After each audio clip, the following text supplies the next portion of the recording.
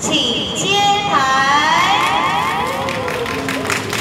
桃园市是全国首创推动冻卵补助的城市，专精不孕症试管冻卵技术的知名生殖医疗机构也特别来到桃园开设分院，并在日前正式开幕，希望透过先进的医疗技术，协助晚婚晚育的妇女满足当母亲的愿望，并且为台湾少子化尽一份心力。我觉得桃园是一个国际都市，然后它是台湾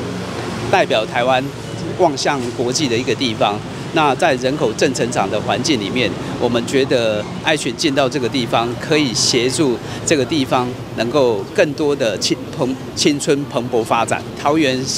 也是唯一一个，应该是第一个补助冻卵的地方。那他们有非常多的妇幼局还有卫生局都非常关心这个部分，让我们可以。呃，大力的来发展这个，对年轻的这些妇女啊，那些小孩都是非常优质、非常良善、非常好的环境。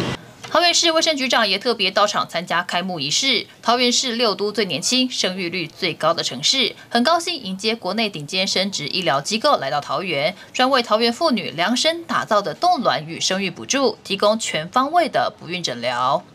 爱情诊所翁院长能够来我们桃园服务我们所有需要的我们的桃园市民，我们感到非常的开心。因为爱情整个集团是在台北，在国际非常有名的认证的一个机构